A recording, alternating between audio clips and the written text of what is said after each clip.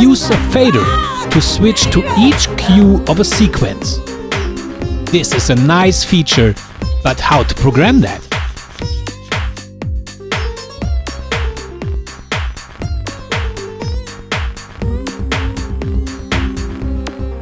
A cue step fader is very useful, for example to activate colors directly. Or positions or for groupings on an effect.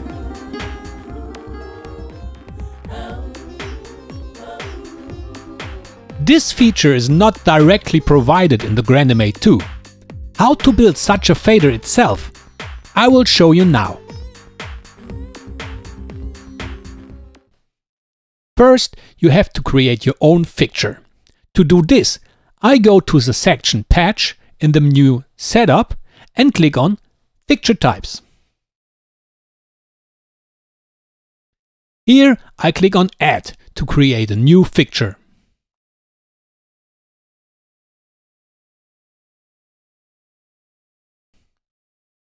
I give a name and a short name. Then I click Edit to set individual attributes.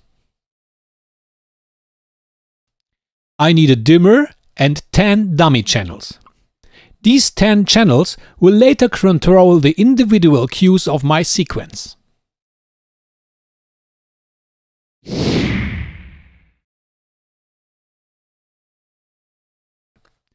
The dimmer is virtual, so the dummies are mapped to the DMX channels and then connected to the dimmer.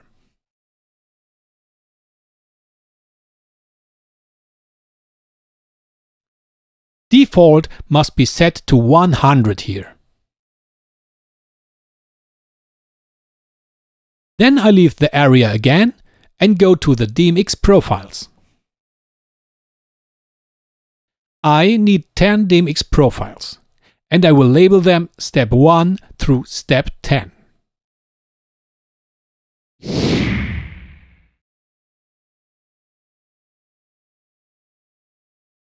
To edit a DMX profile, I have to select it and then click to edit. I can add, edit and remove points here.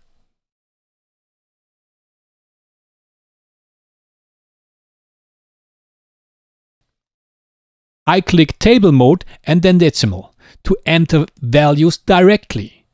I now define individual areas for the DMX output of each profile.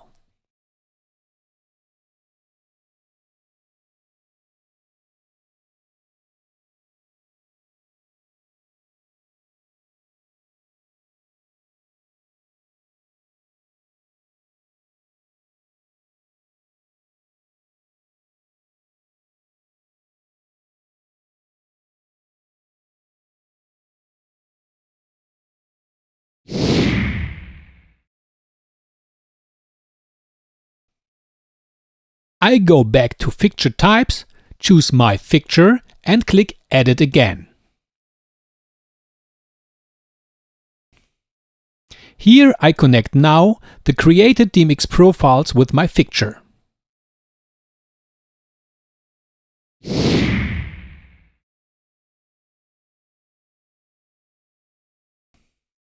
After I did that, my fixture is ready. Now I create a new layer in the patch area and patch my fixture on DMX Universe 3.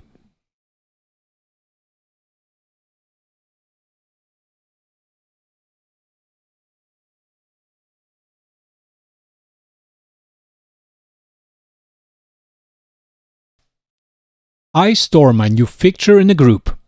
Then I enter 100% intensity and save that into a sequence.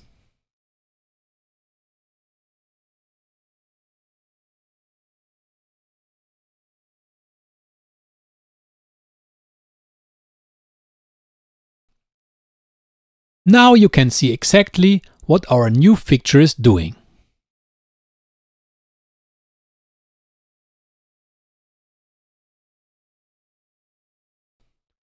I already patched some moving lights.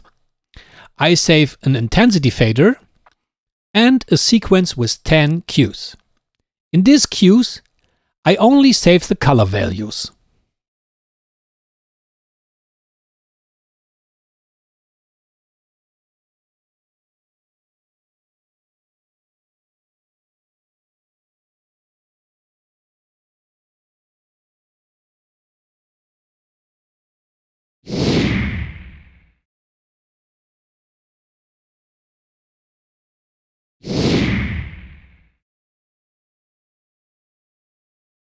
To connect the cue step fader to the sequence, I go to Setup and then to Remote Input for the layer DMX inputs.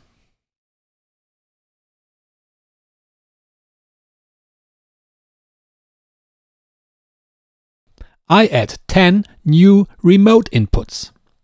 DMX Universe 3, channel 1 till 10 is the workspace of my cue step fader.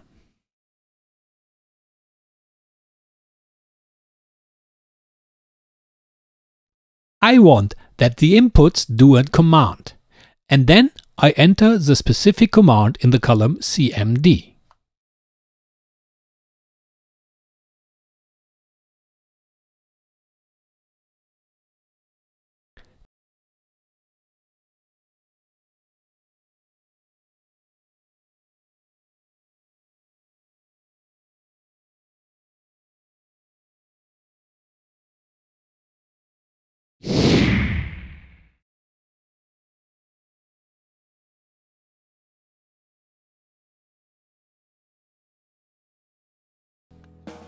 And already my cue step fader is finished.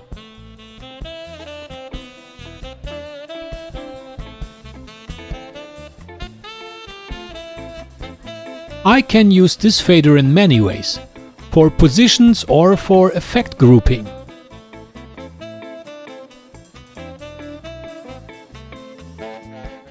In the next tutorial, it will be a bit funny. I show you how to create a Vegas fader and program a Vegas mode on the console. And so that you don't miss it, you should subscribe this channel immediately. This is a video from fiets.de. My name is Fiets and I would like to thank you all for watching.